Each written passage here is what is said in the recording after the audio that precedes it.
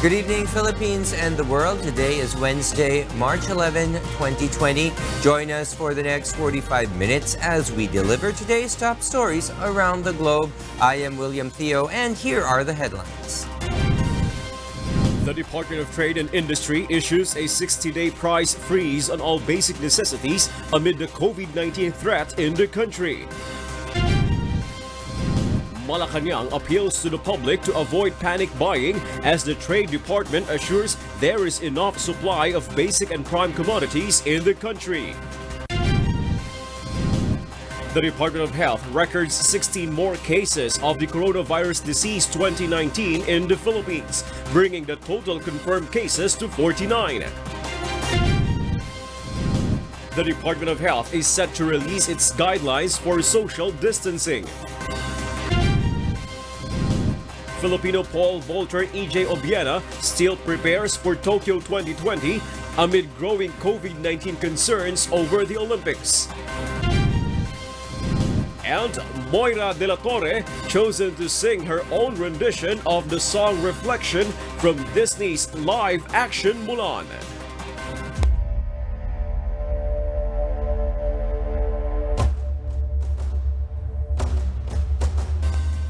The Department of Trade and Industry calls on the public not to practice panic buying amid rumors of lockdown. The agency assures prices of products will not increase despite the high demands. Ray Pelayo explains why. The Department of Trade and Industry or DTI reminds the public that the agency is implementing a price freeze on basic and prime commodities. This in accordance with the Public Health Emergency Declaration of President Rodrigo Duterte. This will last for 60 days. The products included in the price freeze are rice, cooking oil, marine products including dried fish products, egg, fresh pork and beef, vegetables and fruits, canned fish like sardines, coffee, bread, soap, bottled water, locally produced instant noodles, medicines, and liquefied petroleum gas or LPG. The DTI warns those who will engage in profiteering. Pwedeng sigurong ibaba ng retailer kung sa tingin nila pwede nilang pwedeng mabawasan yung profit nila pero hindi nila pwedeng itaas. The Trade Department assures there is enough supply of basic and prime commodities in the country. Trade Undersecretary Ruth Castello says that amid the COVID-19 outbreak, the delivery and transport of products continue. She adds there should be no panic buying. Pero kung sakaling magla-lockdown, ang Metro Manila, we have sufficient supply. Maraming commissaries and warehouses ng manufacturers natin na nandito and the retailers. The DTI and a group of supermarket owners agreed to limit the sale of products just like alcohol that will be limited only to two bottles per customer. The Philippine Amalgamated Supermarkets Association advises its members to monitor wholesale buyers. Unless ipaligo mo yung alcohol, hindi mo kailangan ng sampung bote kung ikaw lang or a family of five. Dahil sa kamay lang naman ginagamit. The official explains that consumers may stock basic needs that will last for 7 to 10 days to avoid interaction with other people and possible virus infection. The DTI also reminds the public that health workers are prioritized in the wearing of personal protective equipment and products. Ray Pilayo, UNTV, News and Rescue, Makati City. PhilHealth is now in the process of formalizing and operationalizing a new benefit. All Filipinos are beneficiaries under the Universal Health Care Law. Meanwhile, the palace appeals to the public to refrain from panic buying. Rosalie, De Rosalie Coz details us why. Several grocery stores ran out of rubbing alcohol, hand sanitizer, and tissue today. Many shoppers went grocery shopping as if panic buying. But Malacanang has this appeal to the public. Buy only what is necessary because panic buying would only lead to hoarding and price increases. The palace also reiterates that individuals who had close contact with COVID-19 patients and have travel history to countries with local transmission of the coronavirus should be prioritized in providing medical attention and COVID-19 testing. The Philippine Health Insurance Corporation or PhilHealth will shoulder the COVID-19 testing according to Malacanang. Cabinet Secretary Carlo Nograles, member of the Interagency Task Force for the Management of Emerging Infectious Diseases, says that the public has nothing to worry about their expenses for medical treatment, especially those in the poverty line who might get infected with the virus. Rosa UNTV News and Rescue, Malacanang. Meanwhile, authorities record an increasing number of coronavirus cases in the Philippines. There has also been rumors of lockdown in some areas which have led to some Filipinos to panic buy. But is it really panic buying that families must do? Mon Hokson reports.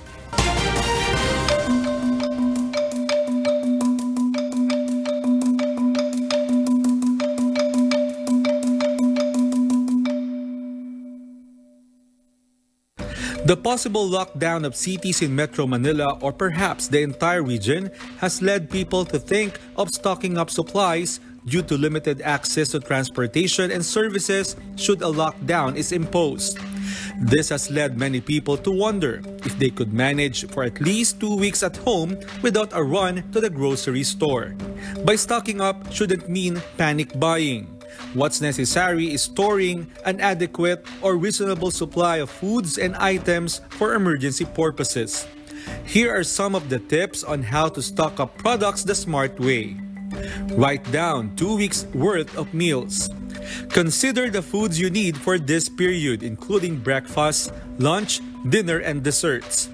Don't forget to include foods that would be needed by any member of the family who might experience flu or fever in that period. Such foods may include soup, herbal tea, and electrolyte drinks. Buy food which will expire at a distant date. By doing so, you wouldn't need to go out frequently. This way, you can avoid interacting with other people, which is a possible cause of virus infection. Buy an adequate number of liquid and bar soaps. According to experts, proper hand washing is one of the best ways to fight COVID 19. Store alcohol too, for when water is not available for hand washing. Make sure it is at least 70% alcohol solution. Buy cleaning products. This can be used in disinfecting objects inside your home that you most often touch or come in contact with. Don't forget that you'll also need plenty of paper products such as paper towels, tissue, and toilet paper. Consider picking up extra garbage bags so you can safely dispose of contaminated tissue and paper towels. But did you know that in times like this, food, alcohol, and paper items are not the only products we need to acquire? Find out more in another episode of informative videos on KDR TV, the YouTube channel of Kuya Daniel Razon. Mon Hokson, UNTV News and Rescue.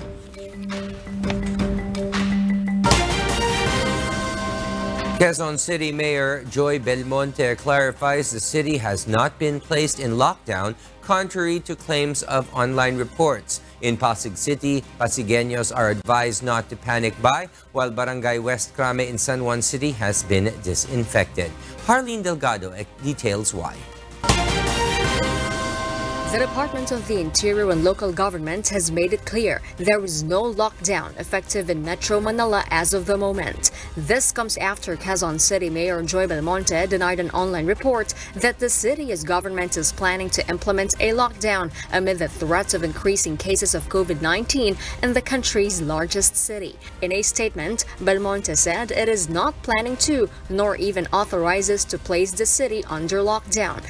Mayor Belmonte adds she has ordered a team to look into different types of lockdown being done in other affected countries such as China and Italy that the city may mull over and possibly adopt. The DILG has earlier said there is no need for a lockdown in the National Capital Region unless the Health Department records community transmission. Meanwhile, in Pasig City, Mayor Vico Sotto advises Pasigueños not to practice panic buying. Ang mga tindahan po natin ay hindi magsasara. Hindi po natin kailangan panibayin dahil uh, kawawa naman yung mga ubusan.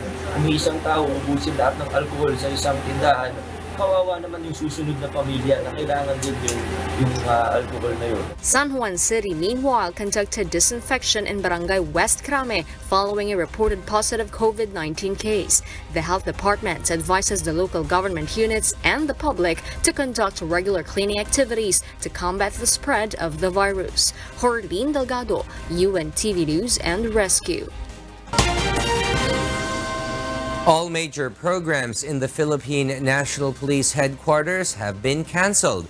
Meanwhile, the PNP chief has designated a quarantine area within Camp Crame. Lea Ylagan tells us why. The Philippine National Police is ready once the government declares a lockdown in Metro Manila because of the COVID-19 outbreak. PNP Chief Police General Archie Gamboa says that 38,000 policemen will be deployed to implement law and maintain order. General Gamboa adds it is the Department of Health who will give the go signal to implement the lockdown. We will be utilizing the NCRPO has a strength of around 28,000. The Philippine National Police here in Camp Crame to, to include national separate units is around 10,000. So more or less we have uh, 30,000 to 40,000 to utilize in case these things would come up. President Rodrigo Duterte has earlier stated there is no need to impose a lockdown at this point because the situation in the national capital region is still manageable. But class suspension has been declared in all levels and schools within the metro until Saturday. Gamboa says the PNP will help convince students to just stay home instead of loitering around malls and internet cafes. The President required us to convince naman no, the students to stay at home. Now, syempre, this is only much that we can do. Hindi naman pwedeng i-restrain, no? But so far naman, wala namang pumapalag because uh, I think it's everybody's concern. In Camp Crame, the PNP chief has cancelled almost all major programs such as Polystenics and Zumba every Tuesday and Thursday afternoon, where more than 2,000 police personnel participate. Even the formation during flag raising ceremony every Monday morning will be revised as part of the PNP's precautionary measures against COVID-19. Baka wala munang passing review. And all of these things are being done by the Philippine National Police just to prevent also uh, contamination or infection kung meron man. General Gamboa has also procured 300 sets of protective gears for the National Capital Region Police Office who will be assigned in contact tracing. The Kiangan building inside the PNP National Headquarters will be used as a quarantine area if there are policemen who would need to be monitored or observed for the infection. Pwede naman tayong house quarantine, no? pero if necessary talaga na dito gawin sa kampo, kung very immediate, then come up with places na or specific places for quarantine. Lea Ylagan, UNTV, News and Rescue. Camp Crame. The school year 2019-2020 is about to end, but classes have been suspended in some parts of the country amid the COVID-19 outbreak. Students can look forward to playing a very important role this summer vacation instead. Dante Amento tells us why. The last part of the school year is usually one of the most exciting moments of the year for many students. They also look forward to going a break from school the summer vacation. However, the government and health authorities have advised students to stay indoors, what with the threats of the COVID-19. In fact, classes in Metro Manila and other parts of the country have been suspended. The Department of Education urged all schools to implement social distancing to prevent the spread of the deadly virus. The palace stresses cooperation is expected from everyone because of the ongoing crisis. Students had better help their parents in cleaning and disinfecting their home for the safety and health of every family member. But this should be done with adult supervision. Children must also learn the basic safety and emergency tips. You can watch and learn on the YouTube channel Lifesaver. As for the postponement of the graduation rites, the palace says the decision is with the Department of Education. Dante Amento, UNTV, News and Rescue. Now let's get the latest tally of the coronavirus cases around the world. The viral outbreak that began in China has now infected 119,132 people globally in 115 countries.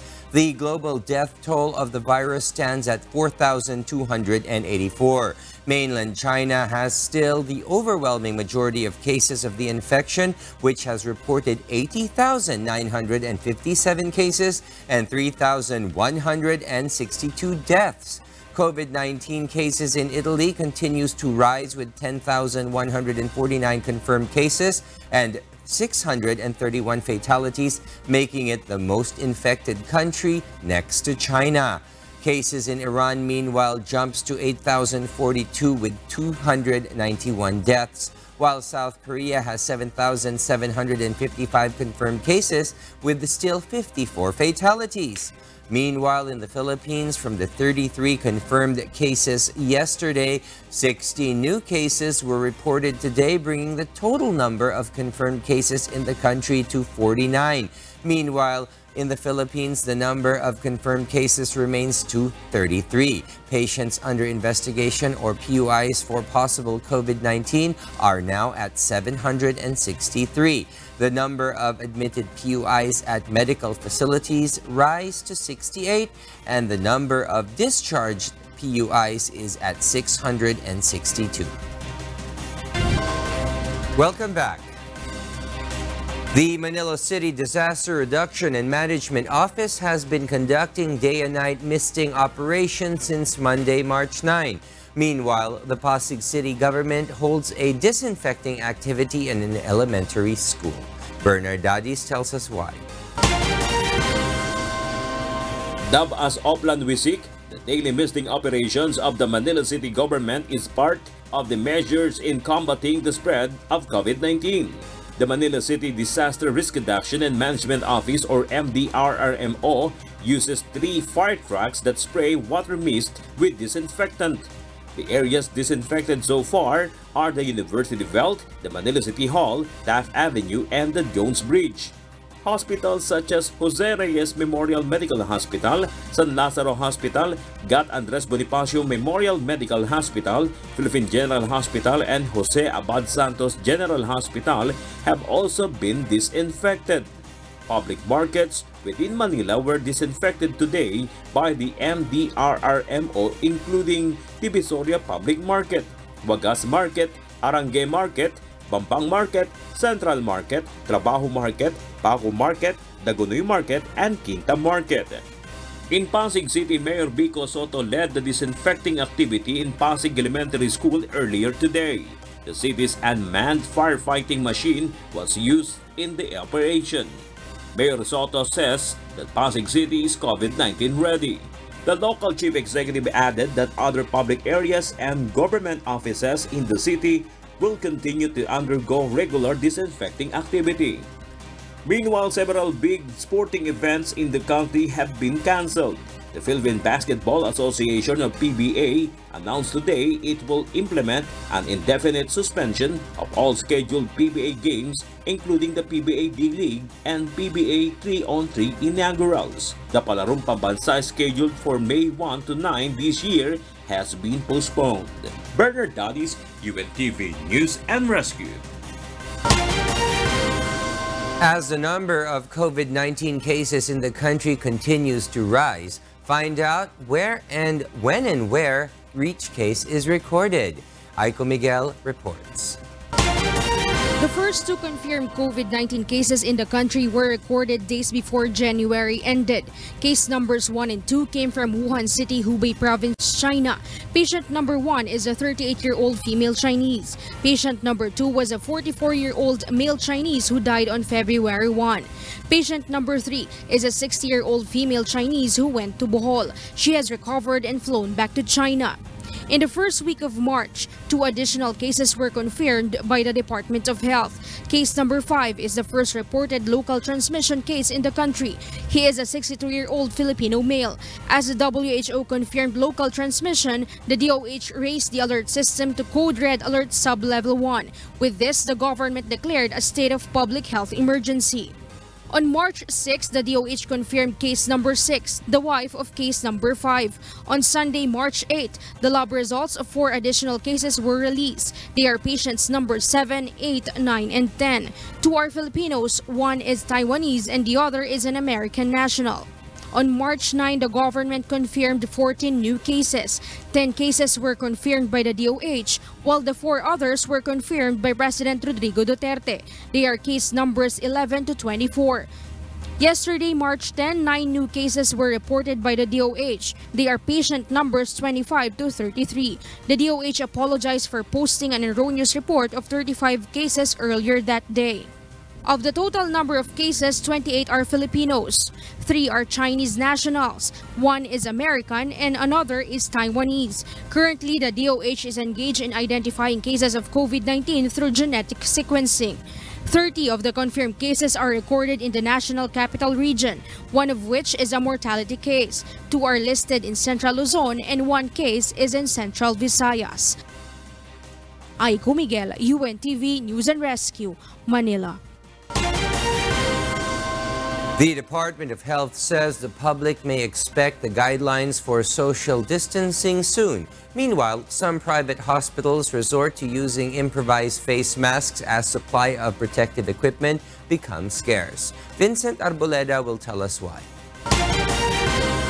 Extreme social distancing and enhanced hygiene are effective in minimizing the chance of getting infected and decrease the severity of COVID-19 According to Health Secretary Francisco Duque III, for the benefit of the public, the Health Department will soon release guidelines for social distancing. Secretary Duque cited that class suspensions and implementation of work from home and flexi-work systems are also part of social distancing. When it comes to interacting with other people, Secretary Duque explains a good distance must be observed. You want arm's length na uh, social distancing, baka ito ay uh, magiging sapat sa uh, pangsamantala. The guidelines are uh, undergoing uh, refinement and this will be uh, finalized. Within the day, we can submit to you the guidelines and to the DILG. Meanwhile, it was revealed during the Health Committee hearing at the House of Representatives today that private hospitals are already experiencing difficulty in purchasing protective equipment. There is, Madam Chair, a grave uh, deficit in the number of uh, PPEs. We are resorting actually to improvising, like uh, we turn our old linen into cloth mask. According to the DOH, there is a supply deficit as the demand for protective equipment such as face masks is surging worldwide. If we have some extras, we would be uh, certainly willing to uh, let the private hospitals have some but uh, we cannot promise uh, that what they need we will able to respond to because our priority is the public uh, health workers. The health department assures there is enough supply for the health workers in public hospitals. The DOH says a weekly supply of face masks for public health workers is in place. The health department's inventory includes about 59,000 pieces of face masks. This number is enough for an entire month according to the Health Department. Vincent Arboleda, UNTV News and Rescue, House of Representatives. Maynilad and Manila Water assure there will be enough water supply in Metro Manila amid the growing number of coronavirus cases in the country. The water concessionaires say they are there are other mitigating efforts in place. Joanne Nano tells us why. Maintaining cleanliness and frequent hand washing remains to be the most effective way to avoid contracting viruses and bacteria. Sufficient water supply is important in order to wash our hands regularly and to maintain cleanliness. And as the dry season approaches and with the absence of rain in the coming months, the water level in Angat Dam continues to drop. Despite this, water concessionaires Maynilad and Manila Water assures there will be enough water supply for Metro Manila and other nearby towns in the next few months. Maynilad explains, however, it still has to implement rotational water service interruptions. Meron tayong uh, sapat na inirarasyon sa ating mga customers. Pinapayuhan natin na ang ating po mga customer na mag-ipon sila ng sapat lamang sa araw-araw na gagamitin nila Manila Water, on the other hand, assures its customers will be provided water supply at daytime, while water service interruption will be implemented from 12 to 4 in the morning. So, ibig sabihin ito, uh, for most times of the day ay meron tayong tubig. No? So, lahat ng gawaing uh, bahay, including disinfection, uh, yung madalas na paghuhugas ng kamay kasi yan yung uh, panahon na kumbaga labas-masok sa, sa bahay ay uh, may tubig. Other efforts for additional water supply include the establishment of new water treatment plants, regular maintenance and pipe repairs, and activation of deep wells. Maynilad and Manila Water appeal to their customers not to hoard water to prevent water shortage. Joanne Nano, UNTV News and Rescue, Quezon City. Persons who tested positive of the coronavirus disease share their stories while dealing with the virus. According to them, the infections can be mild, but their fear is passing it on to vulnerable groups. Kath Dumaraos reports. The coronavirus did not compare with 45-year-old Dane Jacob Tage Ramlyng's worst bouts of flu. It was mild. The journalist, who is isolated in Copenhagen away from his family, was the first person in Denmark to test positive for coronavirus after returning home from a holiday in northern Italy. I had very few symptoms, and it was only uh, headache, stomach illness, and uh, some cough and uh, throat um, uh, pain in the throat.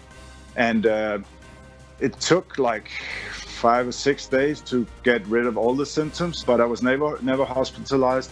I didn't receive any medicine because I was I was fine. Uh, it, it, was not like not very bad for me as it is for many other people. Coronavirus is considered most dangerous for the elderly and those with underlying health conditions. Knowing it can be fatal for some made Ramlyng particularly anxious about passing it on. For me, I don't want to be the one that makes other people sick. So that was my greatest concern, and I think that is the greatest concern for everybody, is that we don't, we don't want this thing to spread more than possible. So I prefer to stay home a week or two more, or even longer, if, if I could prevent anybody from getting this disease. Neil Monroe, 22, a Spaniard who defines himself as young and healthy, tested positive for coronavirus after returning to Barcelona from Milan Fashion Week.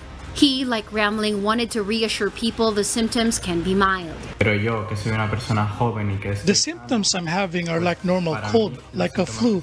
I had a little bit of fever, headache, general discomfort, but anyone would have thought it was just a cold. He started noticing symptoms when he got back to Spain, called the emergency services who told him to go to hospital for a test. After testing positive, he was quarantined.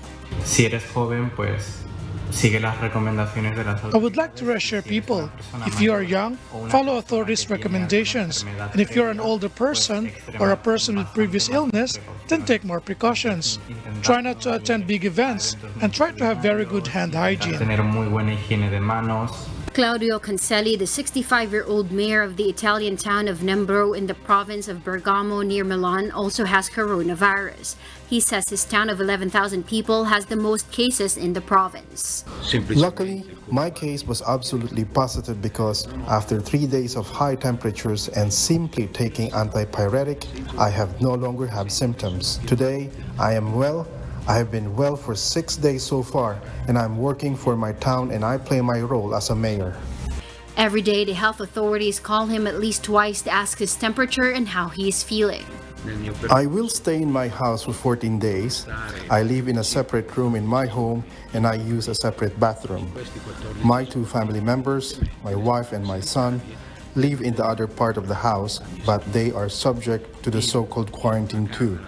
Luckily, they are fine they don't have any kind of symptoms. Kat Dumaraos, UNTV News and Rescue. And in other news, President Rodrigo Duterte assures that Philippine offshore gaming operators are clean. According to Malacanang, President Duterte has no plans to stop POGO operations for now. Rosalie Coz clarifies why. Several senators linked the Philippine offshore gaming operators or POGO to unlawful activities and just recently money laundering. But the president seems to be not convinced by the Senate investigation. President Duterte assures Filipinos that POGOs are clean. I will assure under my oath of office as President of this Republic, as elected by you, yung pogo na yan, insofar kami dito, malinis yan. Laro yan para lang sa kabila.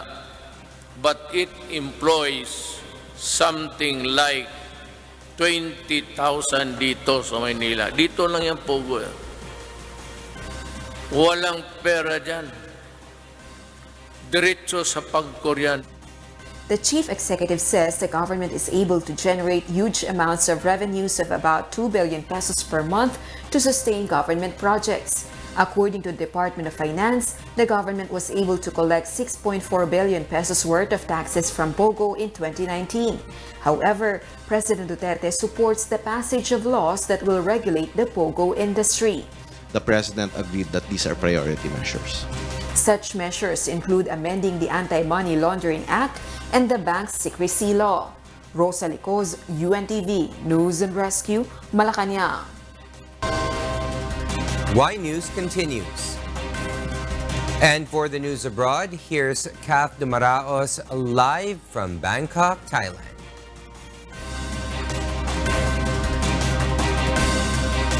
Okay, we will come back to uh, Kath Dumaraos in a bit. And for now, uh, we have as President Rodrigo Duterte continues to promote local tourism amid the effects of the COVID-19 threat on the tourism industry, he has scheduled a Boracay visit. Asher Kadapan Jr. is on the island for more details live. Yes, Asher, good evening. Will tighter security expected to be implemented on Boracay Island as uh, locals await the arrival of President Rodrigo Duterte in uh, Malay Aklan tomorrow? The local police have augmented their personnel for stricter security measures. A total of about 150 policemen have been deployed in mainland Malay, while over 400 more cops will man the island of Boracay. A police briefing to disseminate um, corresponding instructions was done this afternoon to ensure security protocols have been clarified. President Duterte's visit aims to promote local tourism in the country amid the spread of coronavirus disease. The, chi the chief executive has promised to support the tourism department's campaign by showing Filipinos that it's more fun and safe to travel in the Philippines. The president will be joined by DOT Secretary Bernadette Romulo Puyat in his visit to the island. This will be the first time President Duterte will visit the place after its reopening from rehabilitation in 2018. He also plans to conduct an inspection around Boracay tomorrow afternoon. Will the full schedule of President Duterte tomorrow may end in uh, meeting tourists of Boracay at night. That's it for tonight. Okay, thank well, you very much, Asher Kadapan Jr. reporting live from Boracay. And the number of confirmed COVID-19 cases in the Philippines has just gone further up. Meanwhile, three repatriates from the MV Diamond Princess cruise ship was not sent home today, although their quarantine period has ended. Aiko Miguel tells us why. The Department of Health reported 16 new COVID-19 cases in the country this afternoon. This means the total number of confirmed cases in the country rises to 49. Of those cases, three are reported to be in critical condition, while others are in stable condition. One of those who are in critical condition is patient number 29, the wife of patient number 9. She is an 82-year-old Filipina who is now intubated. She has underlying cardiovascular and endocrine conditions. Wala pa ho tayong uh, yung sa as to the link, no? Uh, ba, dahil yun po pinag-aaralang masusi iyon, tinitignan lahat po ng datos ng pasyente. Ang meron lang po tayo ay datos kung uh, for this uh, additional 16 patients, wala akong mga pangalan, ngunit meron po akong mga gender, and age. So ngayon, hindi ko masasabi kung totoong Pilipino o kung, to, kung ano pong nationality nito. Our uh, workers, medical workers uh, have are go, doing the contact tracing and investigation are just the age and the gender of all of these cases, the new cases. The DOH also reports it has a record of 96 Filipinos abroad positive for COVID-19 as of today. 80 from the Diamond Princess cruise ship, 2 are in the United Arab Emirates, 5 in Hong Kong, 3 in Singapore, and 6 in the USA. Patients 25 and 26 are two repatriates from Japan. Another repatriate from Japan has also been found symptomatic. The DOH awaits the result of the confirmatory test conducted on the repatriate's sample. The three were not sent home today, the end of their 14-day quarantine period inside the New Clark City. Disinfection procedures for the rooms used by the two patients had been implemented as well. Close contacts of the two confirmed cases shall undergo additional 14-day home quarantine and will be continuously monitored by the respective municipal and city health offices. The remaining repatriate is left in NCC awaiting his laboratory results. Only 442 of the 445 repatriates from the MV Diamond Princess were sent off today. The 442 consist of 437 crew members and 5 passengers. They received the clean bill which is their clearance to be sent home. Meanwhile, the Food and Drug Administration supports the testing of samples using test kits developed locally. Upon the DOH and the WHO's approval of the test kits, they can be used for testing beginning Monday next week. The commitment is to start it within a week no, after it was approved and they've committed to 1,000 tests every week. Aiko Miguel, UNTV News and Rescue, Manila.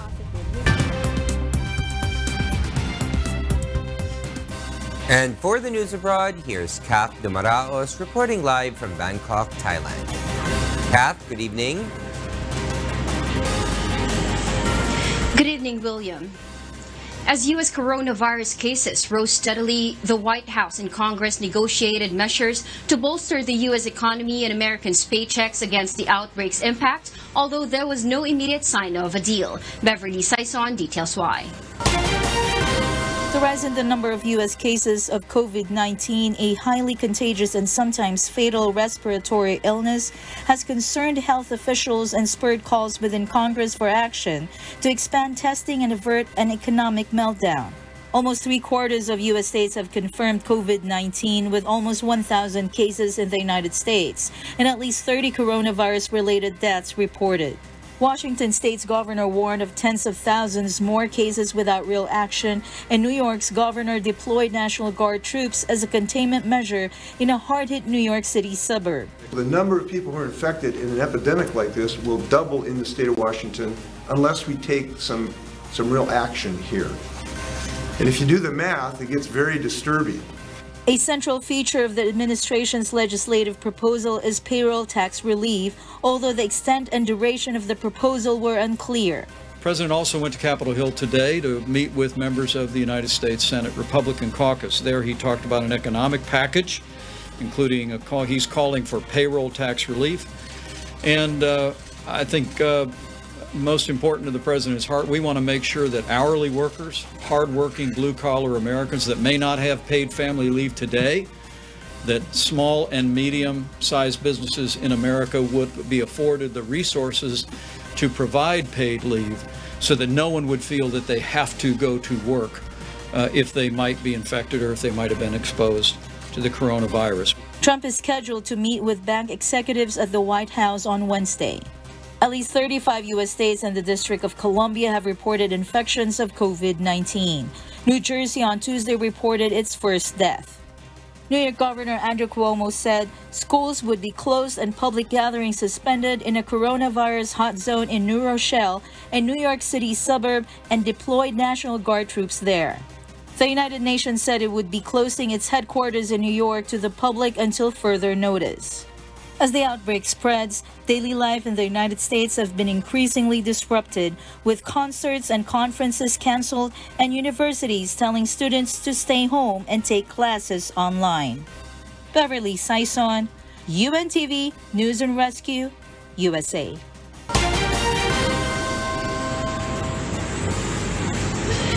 The European Commission proposed a temporary suspension of airport slot rules that would allow airlines to cut back capacity without risking the loss of lucrative takeoff and landing rights. Meanwhile, the Australian government has unveiled a comprehensive health package to protect all Australians, including vulnerable groups from the COVID-19. Nina Bascon details this report.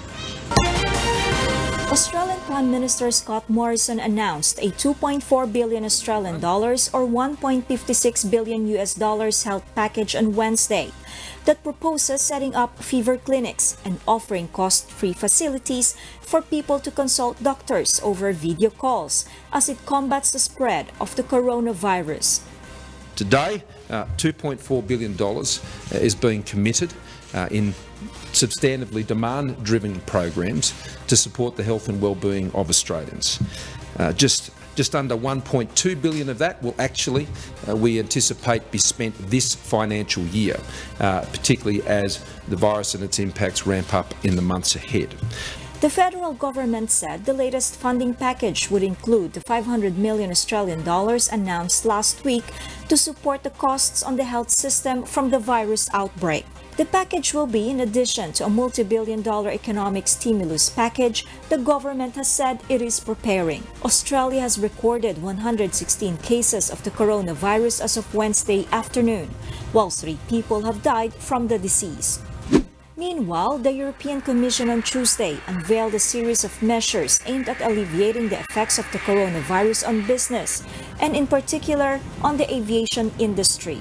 EU Commission President Ursula von der Leyen said the European executive proposed to temporarily drop the rule that airlines operate 80% of scheduled services to retain landing slots. We want to make it easier for airlines to keep their airport slot even if they do not operate flights in those slots because of the declining traffic. This is a temporary measure and this temporary measure helps both our industry, but it also helps our environment. It will relieve the pressure on the aviation industry and in particular on smaller airline companies. But it will also decrease emissions by avoiding the so-called ghost flights. EU antitrust chief Margaret Vestager said the European Commission stood ready to consider compensation measures for companies hit by the coronavirus outbreak and added that additional support was on the cards for Italy. Nino Bascon, UNTV News and Rescue.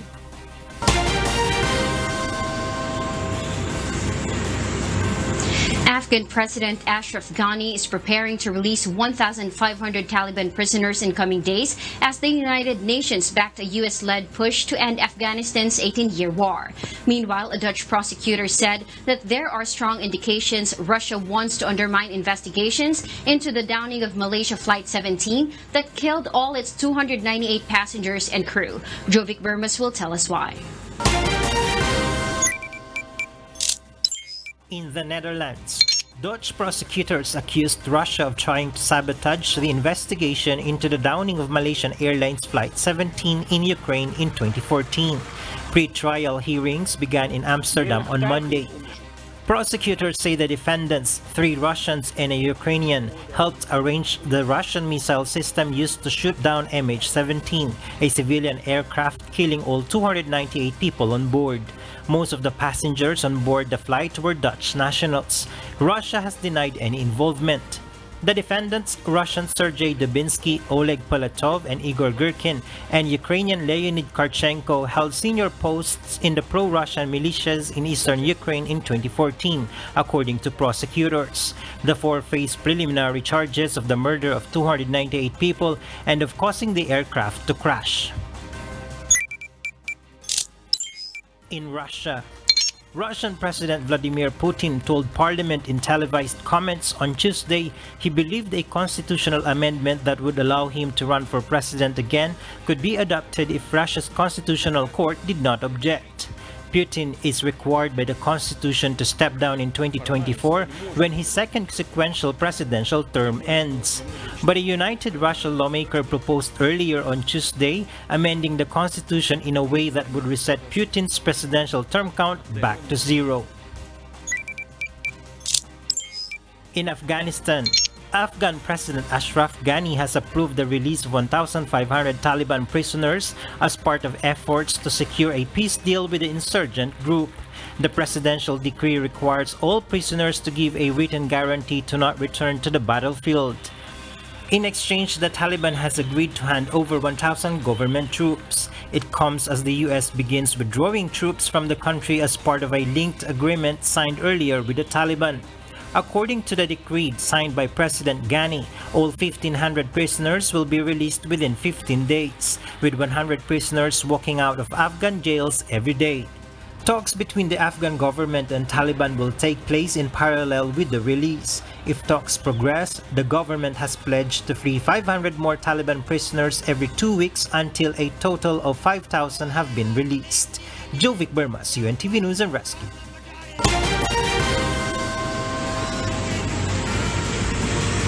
And that is latest from around the globe. Back to you, William. Thank you, Kath Dumaraos, reporting live from Bangkok, Thailand.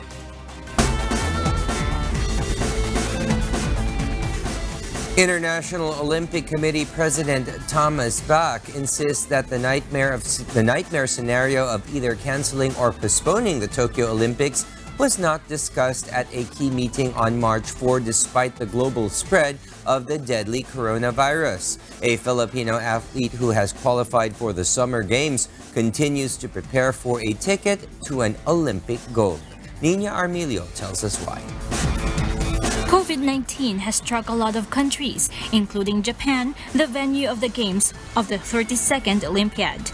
But EJ Obiena, Filipino pole vaulting champion and Tokyo Games qualifier, continues to prepare for the international multisport event expected to happen more than 130 days from now.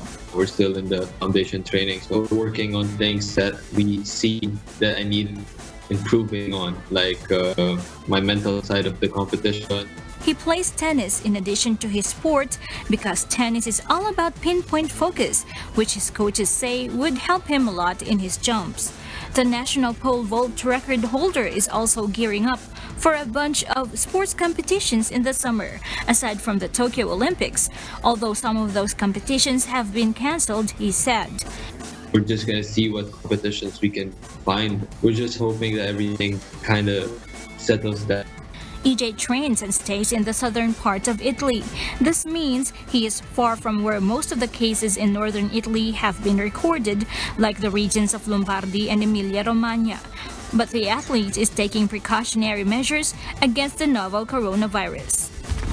I have my mask and I have sanitizers and everything. You know, you just try to stay away, and I gotta do what I gotta do too. EJ also calls on Filipinos to continue to support and pray for him on his journey toward an Olympic gold. It's a big job ahead. I'll do my best. The 2020 Summer Olympics is scheduled for July 24th until August 9th. The Tokyo Games has already cost the Japanese government close to 13 billion US dollars based on the official budget. There are more than 1,200 confirmed coronavirus cases in Japan as of today. Nina Armilio, UNTV News and Rescue. And those are the reasons behind the news. I am William Thio. Because we need to know, we will always ask why. Good evening.